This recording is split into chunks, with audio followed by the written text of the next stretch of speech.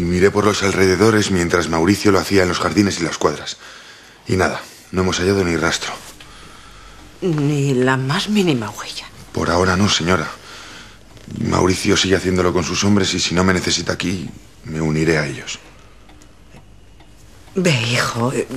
Y si encontráis algo, házmelo saber al momento. Descuide y quédese tranquila, que tenemos a muchos hombres vigilando la casona y nadie podrá acercarse sin ser descubierto.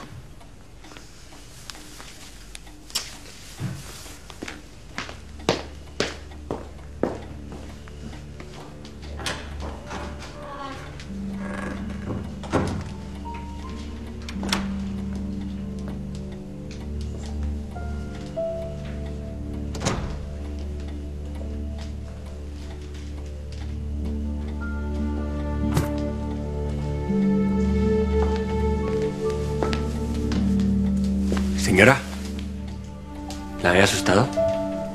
No, no, no. Solo que.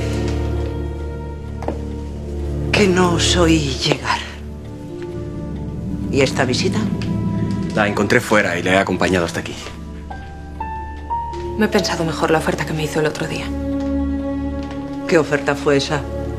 Si es algo relacionado con tu prima Aurora, que sepas que ningún favor hacia ella vas a sacarme. No tiene nada que ver con ella. Me pidió que viniera a vivir aquí.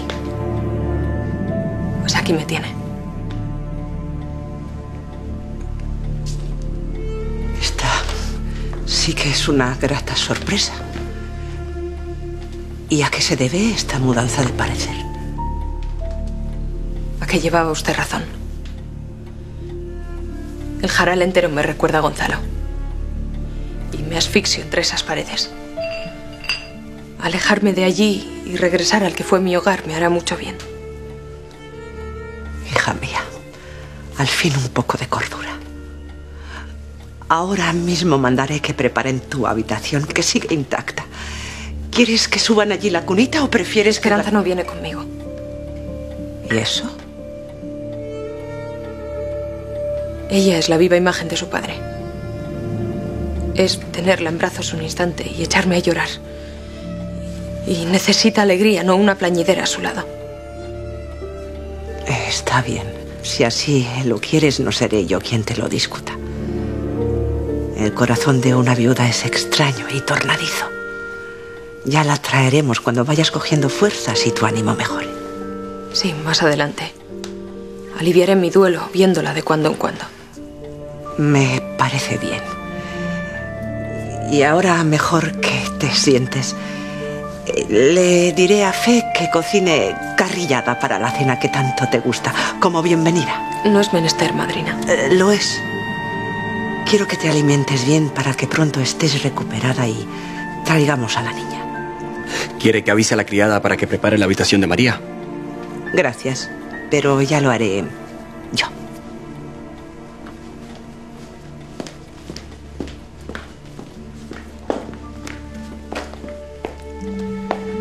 ¿Te ayudo a subir el equipaje? No es necesario. Está bien. Como quieras, solo pretendía ayudar. Gracias. Y disculpa si la última vez que nos vimos fui un poco brusca contigo.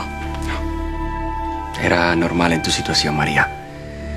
Pero bueno, ahora aquí, con calma, tendremos tiempo de conocernos mejor e ir apreciándonos.